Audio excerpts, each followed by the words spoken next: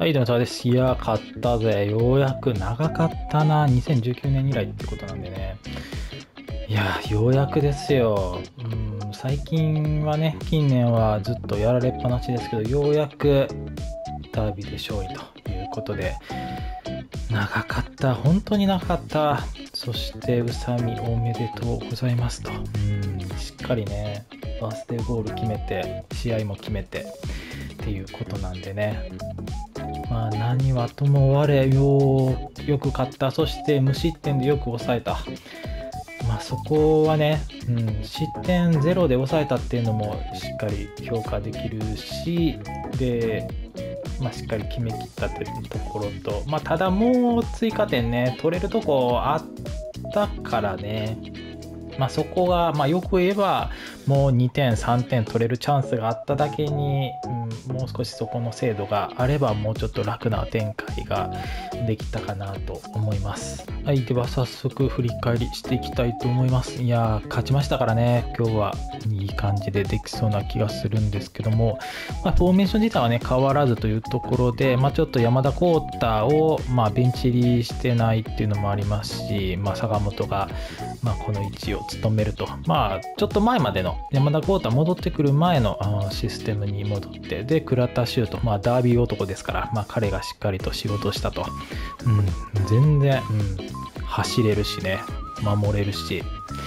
プレスできるしっていうところで、まあ、彼の存在が大きく効いてたんじゃないかな、まあ、それ以上にウェルトンですよ。ウェルトンがすごい、まあ何、何をやらせても何でもできると、うんやっぱりドリブルできる、ボール運べる、キープできる、フィジカル強い、突破できると、まあ、シュートも打てる。何でもできますからね、まあ、彼の存在がかなり効いてますよね。で、えー、代表帰りということですけど、まあ、しっかりとね、チームに入って、速攻でね、もうプレーできると。まあ、ただちょっと代表の方ではね、レギュラーで出てたってわけではないので、まあ、その辺は、まあ、仕方ないにしろ、しっかりとね、頑張って活躍すれば、またね、代表にも呼ばれるでしょうし、で、オリンピックね、人数減るので、うん、招集人数が減るにあたっては、まあ、半田君がどうなるかっていうところも今後も注目ですけど、まあ、そこも含めて今日はねいい試合内容だったので、うん、まあ代表入ってくるんじゃないかなと思います。で中谷慎ちゃん中心にねしっかりとブロック、うん、やっぱりブロックした後のガッツポーズいいですよね。半田君がブロックした後のしっかりとねこう叩いに行くところもよく映ってましたし、まあ、そういうねチームの連携っていうところでしっかり守備ができてるなっていうのが改めて感じますね。要所要所でまあ止めるところしっかり止めてましたしでブロックしながらっていうところでまあその辺も鈴木徳馬のボール回収っていうところは、うん、聞いてましたしダワンのね強さっていうのもありましたし、まあ、このダブルボランチっていうのはねしっかりもう肩にはまってきたかなっていうちょっと安定感が出てきておりますしまあ何はとも我、えー、しっかりとね宇佐美の、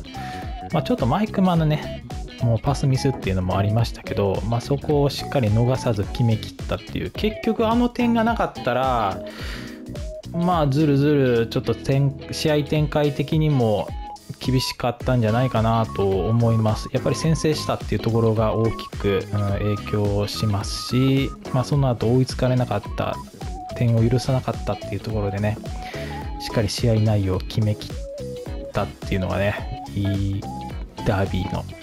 形になりましたね。まあ、今回はね、しっかりシュート点も決めましたし、で、何より守備もね、いい動きできてましたし、キープできるところも良かったですし、まあ、やっぱりその辺、球際のうまさ、ボールタッチのうまさっていうのは宇佐美光ってましたよね。やっぱりここで前で受けて、まあ、中盤で受けて運びながらっていうところもしっかりキープしながらボール、まあ、ちょっと挟まれたりしたらね、ちょっと失うところもありますけど、まあ、そこもある程度はキープしながら周りを使ってっていう、うんまあ、攻め方も良かったかなと。で、まあ、黒川のね、そんなに、まあ、うん、結構上がってるシーンも多くありましたし、まあ、両サイド、まあ、右サイドは結構多かったですけど、まあ、左もしっかり使いながらっていう感じで、まあ、ウェルトもね、左、こう、倉田とポジションを変えながらっていう感じもありましたし、まあ、そうやって左右でね揺さぶりかけながら攻めれてるっていうのはいいところじゃないですかね。やっぱり得点のところまあ宇佐美のところは褒めるべきですけどもやっぱり坂本ですよね。決めきるところっていうのがね23度あったんで、まあ、そこのねもう少しっていうところではあったんですけど、まあ、そこが決まっていればもう少し楽な展開が作れたかなと思いますしまあ20歳でねこれだけ試合に出続けてチャンスも作ってるシュートも打ってるっていうことなので、まあ、どんどんねこれから成長して、まあ、ゆくゆくは代表あるんじゃないっていうのも、うん、考えられますよね。なので、まあ、これからに期待をしつつも、今も、今現在も期待しながらっていう形で、かなり、えー、有望株、間違いなしですね。今回のダービーに関しては、まあ、ちょっとね、両サイドバック、相手の2人が負傷交代っていうところで、まあ、ちょっと、うん、思いように進めることができなかったっていうのもあると思いますけど、まあ、そこをねしっかり勝ち切ったっていうのはね今のガンバにとってはまあ嬉しいところではありますし自信になってるかなと思います。でまあ、そんなにね、シュート、まあ、打たれはしましたけど、そこまで、うん、脅かすものもなかったかなと、ただドリブルでね、こう入られた時に、それを止めれないと、まあ、ちょっとね、危ないところまで持ってかれるっていうのはありますし、やっぱりレオ・セアラーも中心にね、体強いので、セットプレーとかはね、本当に危ないシーンはあるので、まあ、そこを今回はね抑えたっていうのもかなり、うん、自信になってると思います前半でなんとかね1点リードできたっていうところは良かったですしで、まあ、後半もね点取るチャンスありましたけど、まあ、そこで取れなかったっていうのは課題かなとうんやっぱりそういうところでしっかりと相手にね追い打ちをかけていかないと、まあ、この先、ちょっと苦しい試合が続いていくかなと。まあ、昔、まあ、昔はあまりね、あの、例えに出すのも良くないですけど、もっとね、5対0とか、それくらいの点差つけて勝ってた試合、いくらでも見てきたんでね、まあ、それくらいの破壊力あると思うのでね、ちょっと噛み合えばっていうところだと思いますので、まだまだ、うん、成長途中ということでね、期待していきたいと思います。なかなかね、ガンバリードしたまま後半最後まで行くっていうのがね、試合展開的には少ないので、そうなった時の、まあ、交代選手で、やっぱり怪我っていうのもありますけど、ダワンも足つってましたし、まあそういう交代っていうところで、うん、ちょっと難しかったかなと。うん、やっぱり山下はね、入れるところとタイミングっていう、まあ山下もね、今回すごくいい動き、やっぱスピードある選手なので、キープもしながら、で、突破もしながらっていうね、スプリントも良かったです。守備もね、いいシーン見ましたしね。で、石毛が、まあ、ボランチに入ることがね、最近増えましたけど、やっぱりそういうところで石毛のユーティリティさっていうのはね、今回は、うん、まあもうちょっとね、頼りないところはあるポジション、正規のポジションではないので、難しいところあると思いますけど、そこはね、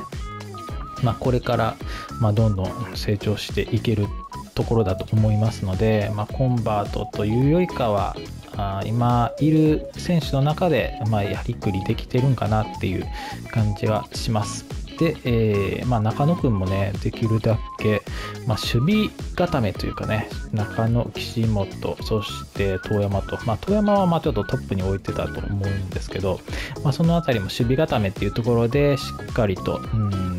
全員でね、守りきったっていうのがね、いい、いいですよね。試合全体のスタッフとしては、まあ、シュート16本。まあ、前回のね、福岡戦に比べれば、まあ、かなり、もう全然違うチームやなっていう感じもしますけど、で、枠内シュート12と、まあ、かなり枠内、まあ、キム・ジンヒョンに防がれるシーンっていうのはね、かなり多かったですけど、まあ、しっかり枠内入れてるっていうところと、まあ、対するセレッソは11本中の6本なんで、まあ、そこをね、しっかり上回れたっていうのはいいですよね。ボール支配率自体、まあ、前半自体はね、かなりセレッソがボール持ってたし、ガンバが守備に追われる時間っていうのが長かったので、まあ、この展開でどうなるかなって思いましたけど、まあ、宇佐美がね、点決めてからはガンバ結構試合作り出してたので、まあ、後ろでボール回すシーンも今日はねそんなになかったかなと思います。やっぱり一森ができるだけねボール触る時間っていうのが少なければそれに越したことないんでやっぱり後ろからの組み立てとは言いますけど、まあ、そこでね、うん、後ろでずっと、サイド変えながら後ろで回すっていうことがね今回福岡戦ほどなかったので、まあ、そこはいいところかなと、思います。今回もねあの0点で抑えたっていうのはねかなりいいポイントだと思いますけども、まあ、そこもねしっかりとあの強度が上がってると思いますしやっぱりちょっと源太が抜けた穴っていうのは大きいですけど、まあ、福岡もねしっかりと試合に入って、えー、パフォーマンスしてくれてるので、まあ、中谷慎ちゃんを中心に守備がねちょっと安定してると思いますので実際失点もね減ってるので、まあ、それは継続してもらいながらっていう形で。で結構ボール回されてる支配率はガンバが少ない方がまあ、1-0とかで勝ってる傾向にあるのでね、まあ、浦和戦とかそういうボール持たれてるけど点は取って0点で抑えて勝ってる試合があるのでまあちょっとそういう、まあ、ポゼッションサッカーも、ね、目指してる親と体制としては、うん、ちょっと不本意かもしれないですけど、まあ、それはそれでいいかなと。今の J リーグのサッカーとしてはそういう傾向が多いのでボール持ってる時間が長いというよりかは、まあ、しっかりと点決めて、まあ、シュートも打ててますし相手にボール持たせながらでも、まあ、これだけねパフォーマンスできてるっていうのはいいかなと思います。まあ、シュート数でも、まあ、相手上回ってでスプリント回数もねウェルトンすごいですけど、まあ、そういうところでもしっかりと相手よりはあしっかり結果数字が出てるっていうねあの得点以上のところでそこ以外でもしっかり、うん、数字が出てるっていうのはいい傾向だと思います。で、一番ちょっと気にするところとしては走行距離。毎回負けてる試合っていうのはね、ガンバ走れてないので、まあ、その中でも今日はね、鈴木徳馬を中心に10キロ以上走ってるので、やっぱそういうところはね、相手より、えーまあ、気合というか、まあ、気合うんぬんっていうよりかはね、うん、しっかりと技術的なところもあると思いますけど、まあ、そういう試合を作っていくっていうところで、まあ、しっかり走れてる選手っていうのはね、まあ、貴重なのでそういう選手が増えてくれば、うん、よりね試合全体の流れとしても得点のチャンスが多く作れるかなと5月6日、今日の試合がまだ終わってないところがあるので、また暫定ではあるんですけど、首位が町田、2位が神戸と。で、町田が3-0。京都がちょっとね、最近、うん、元気ない。まあ、神戸に勝ったんですけどね、ちょっともう一つ調子が上がらんっていうところと、まあ、神戸はしっかり新潟に勝って、まあ、2-1とあ、3対2っていうことなんでね。なので、あまあ勝ち切ったっていうところと、まあ、対照的に、まあ、東京ヴェルディは調子の上がってる町田に岩田に対して3人で勝ち切ると、なのですごい混戦ですよね。ちょっとジュビロが調子上がってきたところベルディがまだ上がってくると。ベルディもね序盤はなかなか勝ちきれずにね試合を落としてたりっていうのが多かったですけど、まあ、しっかり順位上げてきてるんでね。まあ、そういうところちょっと怖いですけどでやっぱり J2 から上がってきたチームがねちょっと上位に食い込んできてるっていうのもありますしで F 党も札幌に2-1で勝ってると、まあ、上位陣がねしっかり勝ってきてるなっていう中でセレッソを叩いてるんでね。でガンバが暫定ですけど18積んで7位ということでまあ、鹿島、この後試合、うんまあ、今のところ勝ってんのか、1-0で柏に勝ってますけど、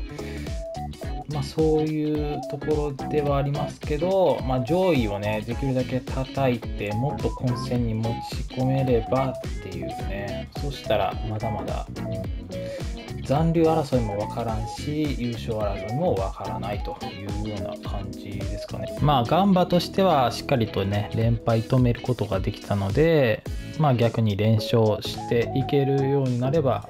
まあ、もっとね、勝ち点詰めると思いますし、まだまだね、一応、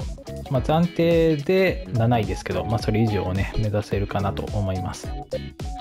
次節はちょっと調子のいい名古屋ということで、中4日で次土曜日ですよね、11日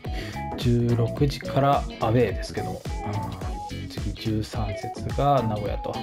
で、その次、もう早いですよね、中、また少ししか開かないですけど、14節は15日から、19時からベルギーと。まあ、ちょっと昇格組をね、ちょっとしっかりと叩いておきたいっていうのはありますけど、ちょっとここも厳しい試合になるかなっていうところで、19日日曜日はホームで川崎と。去年はね、ダブル行ったんですけど、まあ、川崎に行った選手もいるんでね、しっかりとそこは叩いていきたいところですね。こんな感じで適当なこと言ってますけど、もし何かありましたらコメントに残してもらえたらなと思います。